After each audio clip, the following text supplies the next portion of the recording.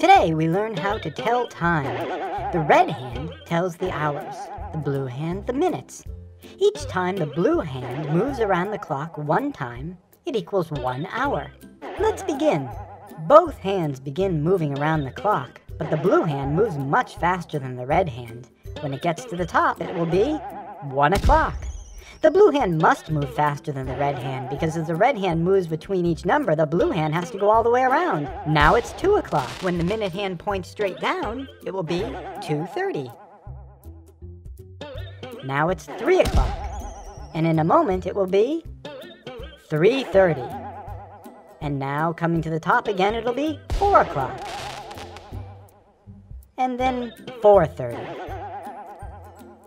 And then 5 o'clock and then 5.30. When it gets to the top, it will be 6 o'clock, then quarter past 6, and half past 6, and quarter to 7, and now 7 o'clock, and quarter past 7, and half past 7, and quarter to 8, and 8 o'clock.